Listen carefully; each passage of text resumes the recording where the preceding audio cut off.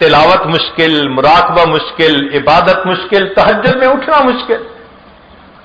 ये सब मुश्किलात इस मोहब्बत इलाही की कमी की वजह से देखें, एक पौधे के अंदर डिहाइड्रेशन हो जाए ना तो उसके फल भी मुरझा जाएँगे, पत्ते भी, वो खुद भी। और एक पौधा बिल्कुल तरोताजा, क्यों? उसको पानी सही मिल रहा है। आज मोहब्बत इलाही की डिहाइड्रेशन हुई हुई है। नमाज़ को दिल नहीं चाहता। सुबह उठना चाहते हैं, फजर में आँख नहीं खुलती। चुनाचे वो अहबाब जो कहते हैं, जी, मेरी तो कमर में दर्द है, हज़रत। फजर की नमाज़ में मुझसे नहीं उठा जाता। जो ये कहते हैं ना, ठीक फजर के एक घंटे बाद, जब उनको कारोबार के लिए जाने का वक्त होता है ना, उस वक्त नहा के, नाश्ता करके वो ऐसे भागे जा रहे होते हैं जैसे उनके अंदर जापानी सेल फिट कर दिया किसी ने। अब कमर की दर्द किधर गई भाई? तो मोहब्बत की बात है। दिल कारोबार में अटका हुआ है रोज के लाखों कमाते हैं, भागे जा रहे हैं। अगर अल्लाह की मोहब्बत दिल में होती तो तहजद के वक्त जागने से कोई रोक नहीं सकता था।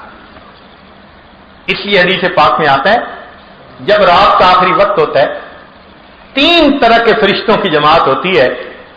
अल्लाह ताला एक जमात को फरमाते हैं कि जाओ, फला फला फला, वो मेरे नापसंदीदा बंदे हैं। मैं नहीं चाहता कि ये इस वक्त मेरे सामने खड़े हों, इनको थपकी दे के सुलाओ। ये मेरे प्यारों के जागने का वक्त है, ये ना जाग सकें। चुनाचे फरिश्ते आते हैं और थपकी दे के सुला देते हैं। कि भाई, आपको इजाज़त नहीं है इस मौके पे उठने की। वो मालिकुल मुल्क तुम्हारी शक्ल नहीं देखना चाहते। इसलिए जब तहजद का दा हो तो यूँ सोचे, ये नहीं कि मैंने नहीं पढ़ी, ये सोचे, शायद वो मेरी शक्ल देखना पसंद नहीं करे। तभी तो खड़ा नहीं होने दिया। सुला देते हैं सबको। फिर दूसरी जमात फरिश्तों की। फरमाया कि जाओ फला मेरे बड़े मकबूल, महबूब बंदे हैं, मोहब्बत करने वाले। उनको जगाओ ताकि वो उठें, मेरे सामने सजदे करें, हाथ उठाएँ, मैं उनकी मुरादों को पूरा कर दूँ। उनको फरिश्ते जगा देते हैं। थके हुए होते हैं। तहजद के वक्त एकदम आँख खुल जाती है। उनके अंदर कोई अलार्म फिट होता है। वो फरिश्ते जगा देते हैं। तहजद पढ़ लेते हैं।